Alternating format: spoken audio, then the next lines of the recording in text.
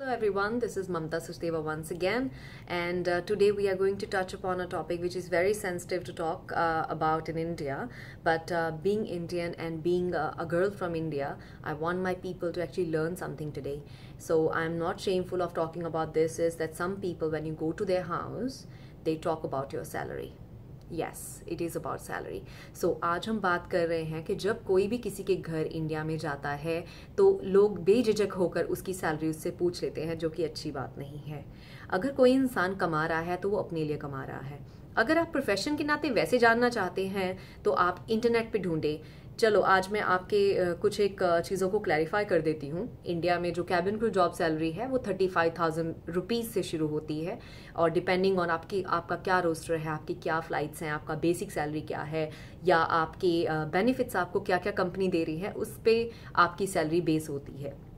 तो इंडिया में between thirty five thousand to lakh डेढ़ लाख तक आपकी सैलरी पर मंथ रहती है लेकिन अगर आप इंटरनेशनल कैबिन क्रू हो तो आपकी सैलरी ओवर वन लाख तो है ही फॉर श्योर sure. क्योंकि बाहर रहने वालों को सैलरी तो दिखती है लेकिन ये नहीं दिखता कि बाहर जो स्टूडेंट्स या बाहर जो कैबिन uh, क्रू रहते हैं या इंटरनेशनल एयरलाइंस में काम करते हैं उनको वहाँ बाहर रहने के और खर्चे भी झेलने पड़ते हैं तो इसलिए उनकी सैलरीज इंडियन रुपीज़ के अकॉर्डिंग ओवर वन लैख रहती है। Between one lakh to three lakh to four lakh to five depending on your position how much you you work how many flights you do आप कितना काम कर रहे हो, आपको उसके अकॉर्डिंग सैलरी मिलती है।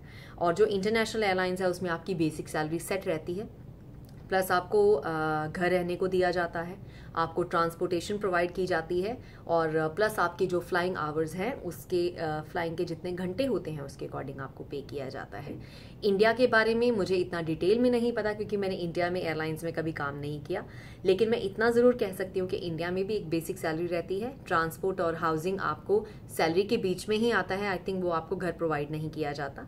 प्लस आपको जो आपकी फ्लाइंग है, उसके घंटों के हिसाब से या पर डे के अकॉर्डिंग आपको पे किया जाता है। लेकिन all in all cabin crew salary कभी बुरी बुरी नहीं है। इंडिया में टैक्सेस वगैरह कटने की वजह से लोग थोड़ा सा कहते हैं कि सैलरी हमारी कम है।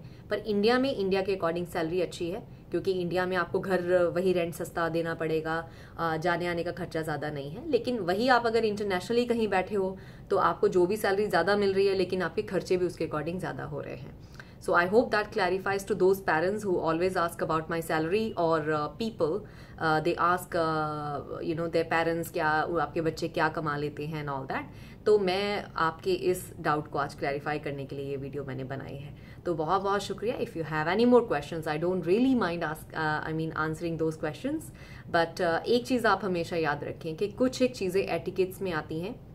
और अच्छा है कि आज हम अपने बुज़ुर्गों को इन चीज़ों के बारे में समझाएँ कि कभी अगर आपका कोई दोस्त आपके घर आए तो वो उसकी सैलरी ना पूछे, क्योंकि किसी के बारे में भी, किसी के पर्सनल क्वेश्चन किसी से पूछना अच्छी बात नहीं है और सैलरी किसी का भी अपना पर्सनल क्वेश्चन है बेसिकली कोई कमा रहा है तो अपने लिए कमा रहा है। तो प्लीज़ इस चीज़ को आप स्प्रेड करें so that people get to know कि किसी की सैलरी पूछना अच्छी बात नहीं।